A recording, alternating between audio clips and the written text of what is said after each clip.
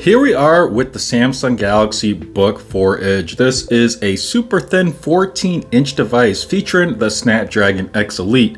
And today we are covering a matte anti-glare display protector.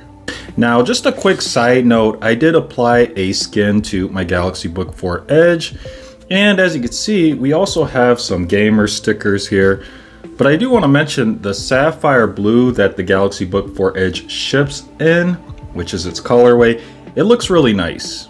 But back to the topic. According to the Samsung specifications, the Book 4 Edge does feature an anti-reflective display, but I still found myself distracted by reflections in that display. The other thing I noticed is this is a touchscreen display on the Galaxy Book 4 Edge, so naturally you do interact with it.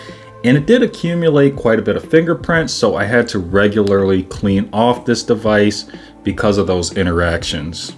So here we are with the anti-glare display protectors.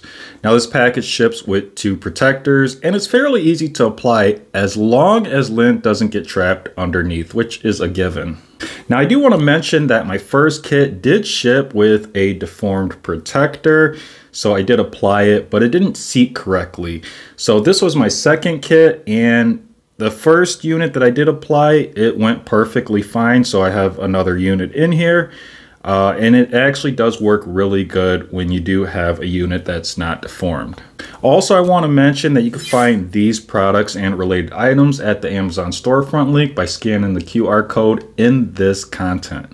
So I want to go ahead and open up the Galaxy Book 4 Edge here just to demonstrate and hopefully this will be easy to catch on camera but the display protector is installed. So once applied, we are going to have water, oil, and fingerprint resistance.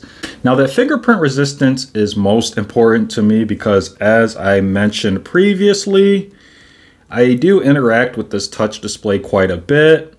It is touch display, of course, so we're going to be using our fingers. And with the anti-fingerprint, it doesn't collect fingerprints so easily. In fact, I haven't noticed anything. And that also makes it easy to believe that it's not going to attract oil so much because our fingers are naturally oily.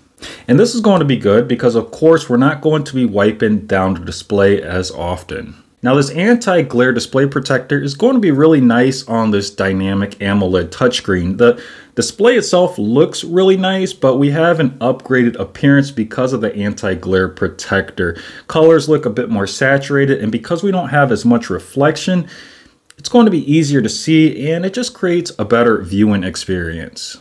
In my opinion, we're also going to have improved touch feedback. So it's just really nice to touch this. It just feels a little bit better compared to the display without the protector. Everything works really nice. And I think this will also work really good with a stylus, which I'm hoping to try today after it arrives and just see how that interaction is. So overall, I think this gives the Galaxy Book 4 Edge a more upgraded look. And that's just working with the display itself, installing this anti-glare display protector.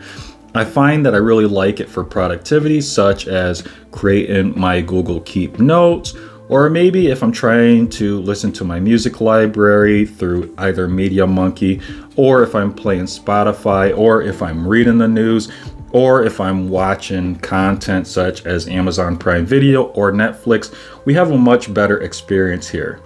But anyways, that is it for today's content. As always, thanks for watching and may the universe flow in your favor. And until next time, Leon check-in out.